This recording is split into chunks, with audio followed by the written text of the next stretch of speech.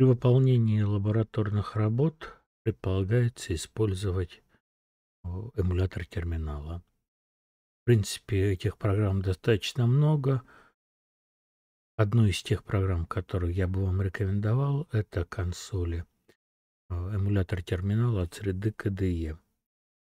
Ну, э, проблема вот этих эмуляторов терминала, то, что они зачастую захватывают э, многие комбинации клавиш, и они, естественно, не попадают к терминальным программам.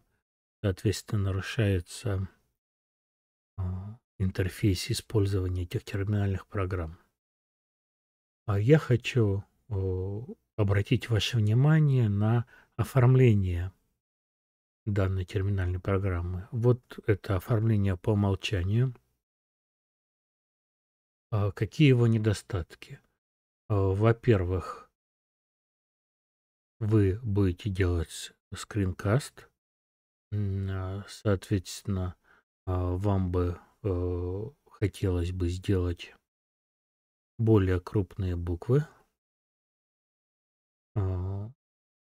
Но для того, чтобы их лучше было видно при просмотре, это первое. И второе. Желательно использовать светлый фон, белый фон, наверное, лучше, и черные буквы.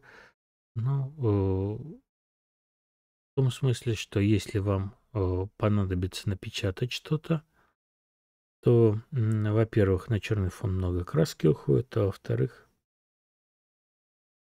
некачественной печати у нас э, может пятно просто получиться.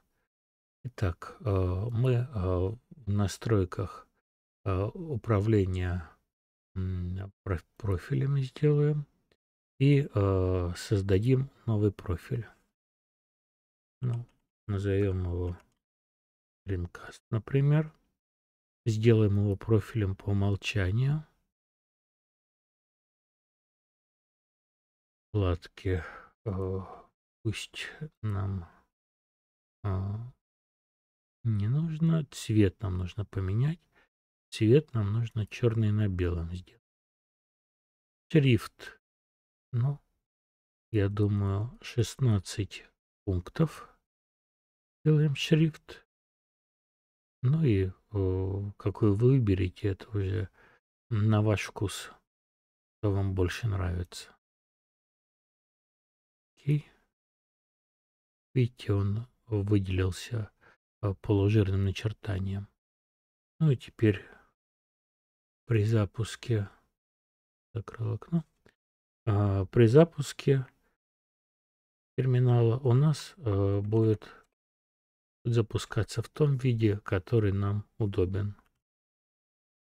Достаточно крупный шрифт.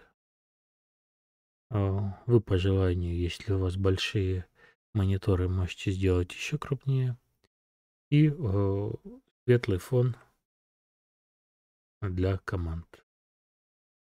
Ну вот, я думаю, что такая настройка наиболее оптимальна для работы.